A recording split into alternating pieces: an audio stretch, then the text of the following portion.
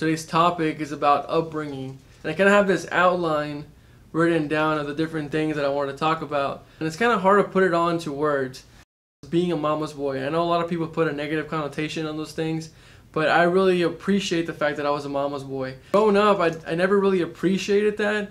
And I kind of had a, an understanding of why she did it. You know, being a single mom and me being the oldest kid, she kind of wanted to hold hold me back and make sure that nothing happened to me. But in doing so, she kind of created this mindset of mine that made me never want to do anything wrong.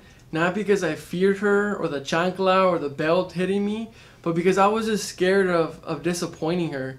You know, letting her down and telling her that the two, three jobs she was working wasn't good enough. It was just one of those things where I never wanted to do anything wrong to let her down. You know, the other thing was was being bullied. It didn't matter what I was going through in my life every single time the thing that I was getting bullied for, I overcame, and then I found that somebody found something new to bully me for that. You know, first it started off for being dyslexic. Then I overcame that. Then it, it, it became uh, an overweight thing. So everybody wanted to uh, bully on the fat kid.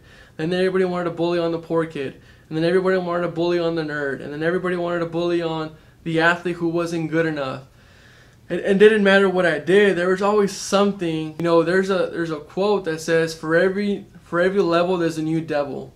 Or, or something along those lines. You know, growing up poor, we always found creative ways to go about making money for paying the rent, for going about paying, you know, the electricity bill. You know, I remember growing up, seven or eight years old, knocking door to door, asking people that wanted to buy tamales or they wanted to buy tacos or even a slice of cheesecake. You know, that was that I was that little kid knocking on people's door, selling chocolates, going to flea markets and trying to buy little things to flip it around and sell it to somebody else for a little more money. Those different business and entrepreneurial tendencies or traits and techniques that you need to be successful in the real world were things that I've been working on since I was a little kid. I'm no longer that kid I was growing up. I wouldn't change my upbringing for anything.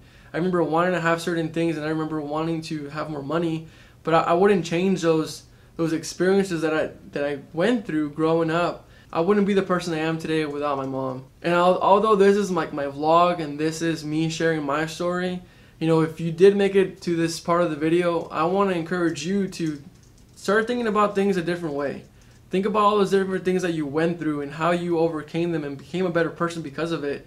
You know, stop being the victim and, and stop just thinking about the, the things that you could have done, but think about who you are today and how you can become a better person and again, remember, just by being who you are, you can change other people's lives. So share your experiences with others and let them know how you overcame it so that they can overcome it themselves.